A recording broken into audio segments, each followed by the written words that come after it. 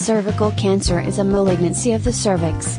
Worldwide, it is the second most common cancer of women.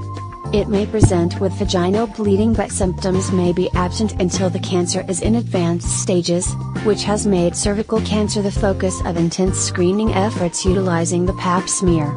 Signs and symptoms of cervical cancer The early stages of cervical cancer symptoms may be completely asymptomatic.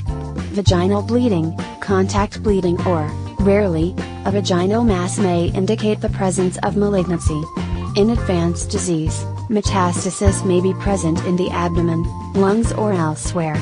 Early signs of cervical cancer The possibility to identify premalignant changes on the cervical smear has made screening the major cause for referral of women with possible cervical neoplasia.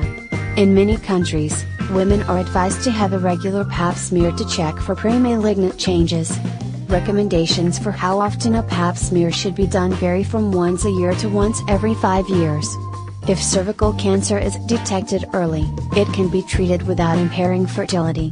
Consistently abnormal smears may be a reason for further diagnosis despite complete absence of symptoms. Diagnosis of cervical cancer Diagnosis is made by doing a biopsy of the cervix, which often involves colposcopy, or a magnified visual inspection of the cervix aided by using an acetic acid solution to produce color changes in precancerous or cancerous areas. A pap smear is insufficient for the diagnosis. Many researchers recommend that since more than 99% of invasive cervical cancers worldwide contain human papillomavirus, HPV testing should be carried out together with routine cervical screening.